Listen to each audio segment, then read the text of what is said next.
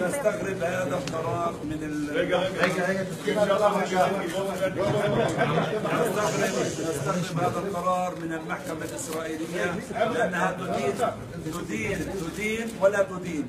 فهذه يعني آه، جريمة بشعة بحق الطفل محمد أبو خضير فكيف بدنوه وما بدنوه كيف عمرها ما صارت؟ يعني المحكمة الإسرائيلية قبل شهر محكمة العدل الإسرائيلية قبل شهر آه، أصدرت قرار في عدم إمكانية هدم بيوت لليهود لأنهم ما- بتردعهم. ولا مين بده يردعهم هذول ال- النازيين الجدد؟ مين بده يردعهم إذا بدهم مش ينهدوا لهم بيوت- بيوتهم؟ يعني معناها فيش ثقة في المحكمة الإسرائيلية. وإحنا قلنا لهم أنا ما بثق في المحاكم. محاكم الإسرائيلية لأنها تحكم للعربي بشيء والإسرائيلي بشيء آخر.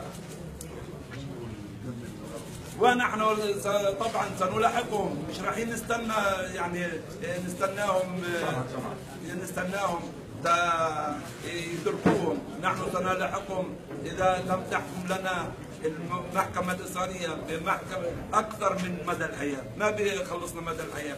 سنذهب إلى محكمة العدل الدولية. النفس لعدم ادانه الرجل نحن وضعنا النفسي صعب جدا. نحن نأخذ آه، حبوب مهدئة. أنا ليه؟ الجريمة مش قليلة يا جماعة.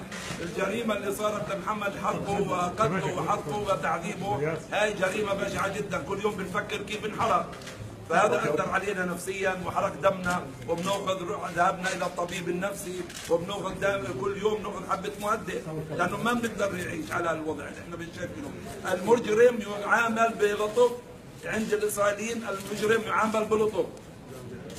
لا يعامل مثل معاملة العربي. نحن نطالب بهدم بيوتهم. أين المحكمة الإسرائيلية بهدم بيوتهم؟